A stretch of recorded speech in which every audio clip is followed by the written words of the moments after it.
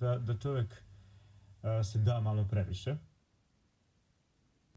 De akárki akárminek nevezi, a pénztár Vedena na jezike dalekih nam zemalja. Da, 13. učiteljica Antonija Jozičić prevela je na Esperanto iz Onion ili pak na Clearnetu, dodajući nastavak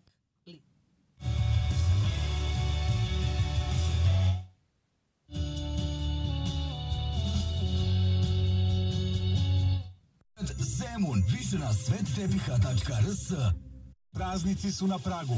Dočekajte novu godinu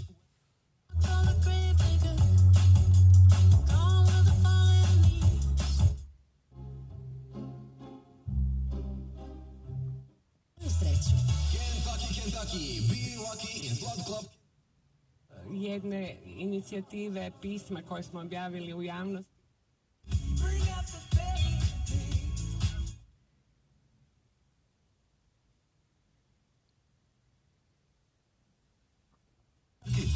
Do 50% bez iznimke. Požurite po svoj par zimske obuće u pola cijene. Mas.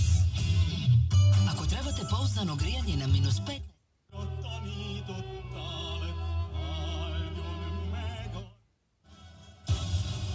Hit radio. Hit.